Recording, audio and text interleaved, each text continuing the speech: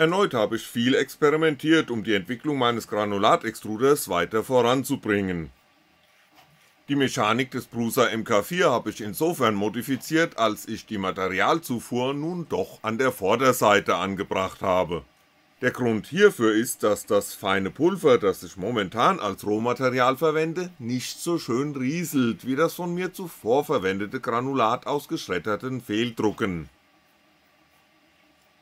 Ferner habe ich den originalen Kraftsensor des Bruiser in die Mechanik integriert, um das automatische Leveln des Druckbetts nutzen zu können. So gerüstet können nun größere Teile als die von mir bislang gedruckten Kettenglieder angefertigt werden. In Sachen Extruder habe ich eine neue Röhre angefertigt Am oberen Ende habe ich mit einer Rundfeile zwei Kerben gefeilt und die Oberkante mit einem Einschnitt versehen, um den Eintritt des Granulats in den Extruder zu verbessern. Weiterhin habe ich so einige Varianten an Schraubengeometrien angefertigt und getestet. Als problematisch hat sich herausgestellt, dass eine geringe Eintauchtiefe, also Länge der Schrauben, zu sehr schön gleichmäßiger Extrusion führt, dabei aber als Begleiterscheinung jedoch allzu starkes Stringing auftritt. Dieses verschwindet, wenn die Schraube länger gemacht wird, dann allerdings sinkt die Druckqualität sichtbar. Das Problem ist die mangelnde Präzision bei meinem handgemachten Extruder. Je tiefer die Schraube eintaucht, umso stärker macht sich ein unrunder Lauf bemerkbar, da beim Rumeiern mal mehr, mal weniger Material extrudiert wird Taucht die Schraube allerdings nicht tief genug ein, wird das Material beim Retract nicht aus dem Extruder herausgezogen. Mit einer Variante, die einen guten Kompromiss zwischen möglichst gleichmäßiger Extrusion bei nicht allzu stark ausgeprägtem Stringing darstellt, zeige ich im Folgenden den Druck eines weiteren Benchies, so einige davon habe ich im Verlauf meiner Tests bereits gedruckt ich erspare mir während der Drucksequenzen jegliche Kommentare, öffnet Augen und Ohren und urteilt selbst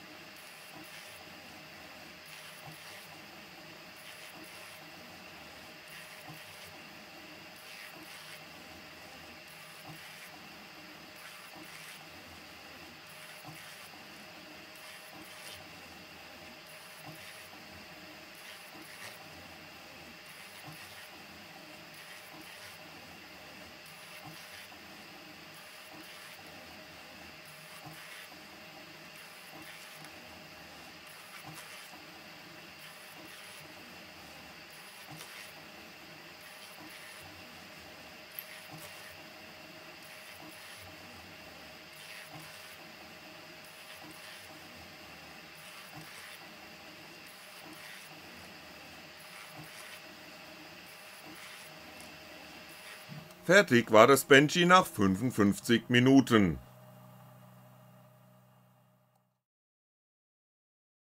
Das Ergebnis kann sich in meinen Augen schon sehen lassen.